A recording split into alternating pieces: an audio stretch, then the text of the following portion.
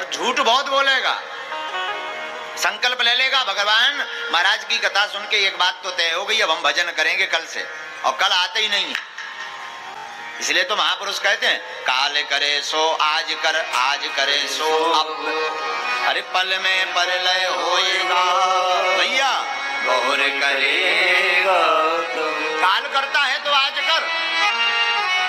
आज करता तो अब कर। और एक बार जो ठान मुड़कर मत आओ।